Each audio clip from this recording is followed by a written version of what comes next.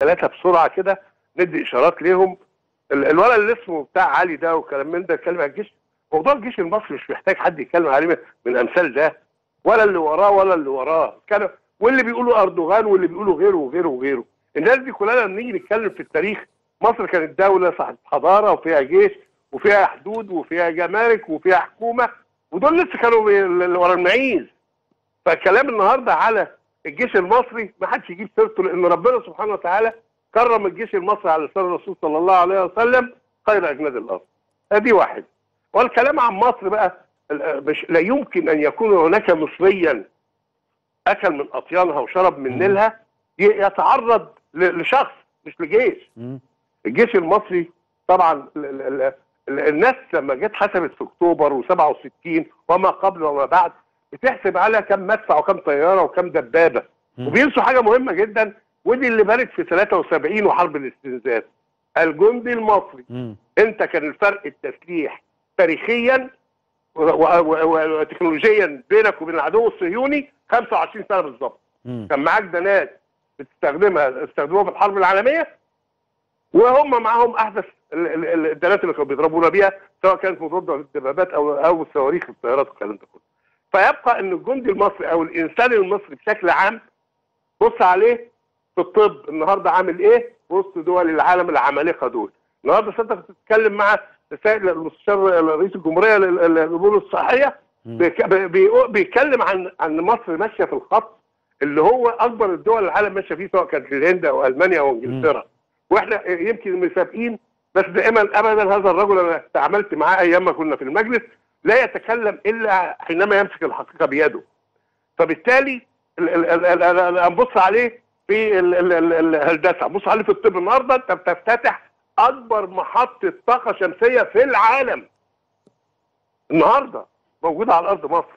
فالنهاردة الإنجازات اللي بتتم دي عشان ما نظلمش الريس معانا وفي نفس الوقت أنت ما تظلمناش مع الريس. الكلام والحديث عن الانجازات نداء ورسالة مخلصة. من أجل الوطن الإعلام الإعلام الإعلام سواء كان صحافة أو تلفزيون مرئي أو مسموع والفن. الاثنين دول يشتغلوا ويقولوا اللي تم إيه؟ من أول ما جم ال- ال- القوى الخاينة وخطفوا البلد بعد 25 يناير لولا 30 يونيو ونقف عن 30 يونيو بقى نتكلم زي ما إحنا عايزين. يوم ونعمل 30 يونيو. يوم 30 يونيو هنقف عندها آه، ونتكلم ما أنت فاكر سيادتك كنت أنا معاك. قبلنا بثلاث أيام صحيح. قلت لي رايحين فين؟ قلت لك ميعادنا يوم 30 آه والله صح. وحصل والراجل طلع وعايز أقول لسيادتك حاجة. سيادتك طبعا عارف التاريخ كله. أنا في حياتي حتى أيام ما كنت بترشح عمري ما وزعت صورة لنفسي. هبعت لسيادتك صور. أنا كنت بوزع صور ال- ال- المشير السيسي. أو كان في الوقت ده ما خدش رتبه المشير. وهو كان موجود قبل ما يكون وزير الدفاع في المنطقة الشمالية وبعد المنطقة الشمالية وفي المخابرات. والقرار اللي أتكلم عليه السيد اللواء الغباشي دلوقتي إخلاء المنطقة الحدودية. ده كيان لازم باخلاص كنا فعلا بنحب هذا الوطن.